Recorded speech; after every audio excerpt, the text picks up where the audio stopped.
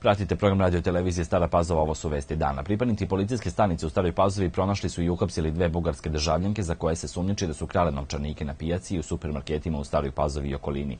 Pre dva meseca naša televizija emitovala je snimak na koji se vide dve žene koje u paru i po oprobanom receptu kradu tako što jednom prilikom uzimanja hleba sa rafa zagovara žrtvu, gura se i uzimaju novčanik iz torbe da bi ga odmah potom prosledila koleginici. Sumnje se da su bugarke 53-godišnja EN i 34-godišnja EG na ovaj način izvršile bar pet teških krađe i oštetile žrtve krađe za preko 125.000 dinara.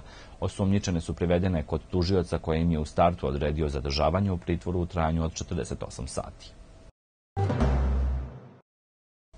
Predsednik Srbije Aleksandar Vučić razgovarao je sa delegacijom Međunarodnog republikanskog instituta iz Sjedinjenih američkih država, koji je predvodio potpredsednik za programe Scott Mastik. U pitanju je međunarodna organizacija posvećena unapređenju demokratije i slobode, povezivanju građana i vlade i motivaciji ljudi da se uključe u politički proces. Više od 30 godina ova organizacija pomaže u jačanju demokratije kroz radionice volonterskih stručnjaka i sveta o višestranačkim političkim sistemima, praksama demokratskog upravljanja, osnaživanja žena, razvoju civilnog društva, društva liderstvu mladih, jačanju izbornih procesa i istraživanju javnog mnjenja. Pre deceniju i po Irije zajedno sa stalnom konferencijom gradova i opština učestvovao u projektu reformisanja opštinskih administracija, razvoja lokalne ekonomije i privlačenja investicija u Srbiji.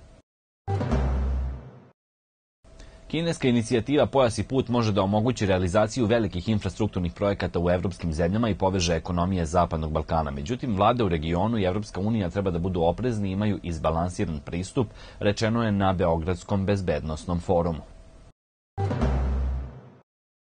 Novembarskom povećanju plata u javnom sektoru najviše će se radovati medicinske sestre i tehničari, kojima će na račun leći 15% više novca, piše Blitz list podsjeća da će minimalac do kraja godine iznositi 27.000 dinara, a od 1. januara nešto više od 30.000 dinara. Vlada Srbije usvojila je sredinom septembra odluku o povećanju plata u javnom sektoru od 1. novembra u proseku od 8 do 15%.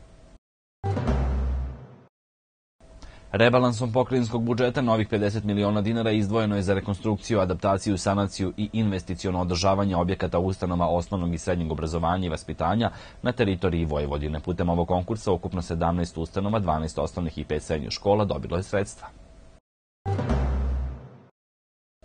Na aerodromu pukovnik pilot Milenko Pavlović u Batajnici u subotu, dakle sutra 19. oktobra s početkom u 12 sati povodom 75 godina od oslobođenja u drugom svetskom ratu, biće održan prikaz sposobnosti Vojske Srbije pod nazivom Sloboda 2019. U prvom delu prikaza biće predstavljene sposobnosti dela jedinica ratnog vazduhoplovstva i protivvazduhoplovne odbrane, specijalnih jedinica kopnene vojske naoružanih i opremljenih najsavremenijim naoružanjem i opremom po konceptu 1500 plus i doniranim sredstvima iz Ruske federacije. Nakon toga biće izveden defile pešadija radijskog motorizovanog i vazduhoplovnog ešalona. Kako je saopšteno, planirano je učešće više od 2400 pripadnika Vojske Srbije, 100 borbenih i neborbenih vozila i sistema i oko 25 vazduhoplova. 15. oktobra počela je vakcinacija protiv sezonskog gripa u Srbiji, a najsavremenije vakcine stigle su i u Staropazovački dom zdravlja. Domu zdravlja dr. Jovan Jovanović Zmaj isporučeno je 2150 doza vakcina, što je oko 40% više nego prošle godine. Ove sezone dostupna vakcina je četvorovalentna, što znači da pruža zaštitu od dva tipa A i dva tipa B virusa gripa. Osobe koje žele da se vakcinišu, potrebno je da se jave svom izabranom lekaru. Vakcina protiv gripa je najefektnija ukoliko je primjena oko mesec dana pred sezonom gripa gripa. Dakle, osoba može da se vakciniše bilo kad, ali ukoliko želi da se zaštiti za celu sezonu, bolje je da to uradi na početku. Vakcinacija protiv gripa se sprovodi u cilju smanjenja obolevanja i umiranja, kao i smanjenja prenošenja virusa gripa u porodici, kolektivu i populaciji.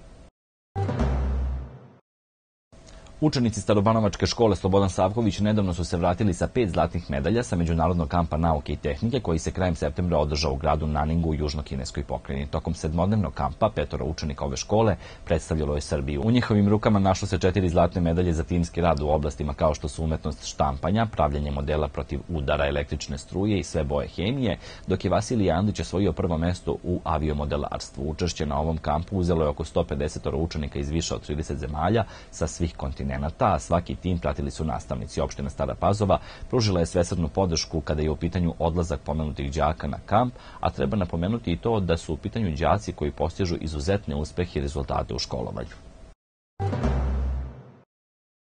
Članovi udruženja preduzetnika u Novoj Pazovi obeležili su sinoć Svetog apostola Tomu, inače krsnu slavu preduzetnika. Tomin dan se u kontinuitetu slavi od 1996. godine, a novopazovački privrednici uključili su se u obeležavanje 2011. kada su i osnovani. U kraćem kulturno-umetničkom programu predstavili su se članovi Novopazovačkog kulturno-umetničkog društva Mladost, a pored preduzetnika i privatnika sa teritorije opštine prisustovali su i predstavnici lokalne samouprave. U okviru obeležavanja istaknuto je da se tradicija razvoja privatnog zanatstva u ovoj opštini, pre svega u Novoj Pazovi, razvija punih šest decenija, kao i to da su se u poslednjih 20 godina razvili veliki broj malih, srednjih i velikih preduzeća koje predstavljaju okosnicu ekonomskog razvoja privrede u opštini.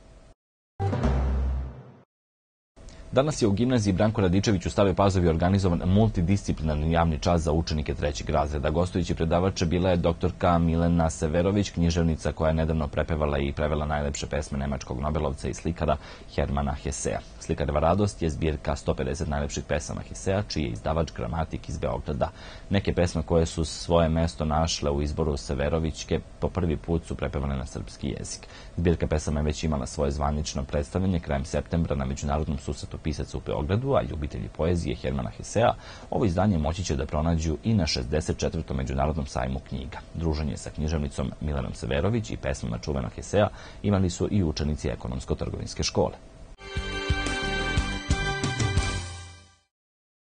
Odbojkašici jedinstva sutra na svom terenu igraju od 18 sati utakmicu treće kola Superligi Srbije protiv ekipe Crvene zvezde. Odbojkaši jedinstva igraće protiv ekipe Partizana u Beogradu. Košarkaši Dunava i Stari Banovaca sutra će odigrati utakmicu treće kola Košarkaške lige Srbije, a protivnik im je ekipa Dinamika iz Beograda. Utakmica se igra u Hali Parku u Staroj Pazovi od 20 časova. Za vikend će biti odigrane futbolske utakmice u ligama u kojima nastupaju lokalni klubovi. U desetom kolu Srpske lige Grupa Vojvodina u subotu će se u Starim Banovcima odigrati utakmice između futbolera omladinca iz Novih Banovaca i Vojvodine 1928 iz Perleza. Dok će u nedelju Starobanovački Dunav dočekati ekipu futbolskog kluba Dinamo 1945 iz Pančeva. U okviru desetog kola Vojvođanske lige grupe u subotu će se u Novoj Pazovi odigrati utakmice između Novopazovačkog radničkog i Podrinja iz Mačanske Mitrovice, dok će se u nedelju u Kaću sastati OFK Jugović i jedinstvo prvenstvo iz Stare Pazove.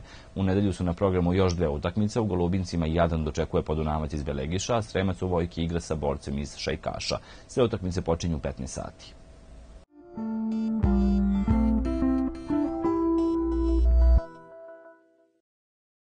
Sutra ujutru kratkotrajna magla, tokom dana pretežno sunčano i toplo, vetar slab i umeren jugoistočni, najniža temperatura od 5 do 13, najviša dnevno od 24 do 28 stepeni. Informacijom o vremenu završavamo vesti, vama hvala na pažnji i prijatno.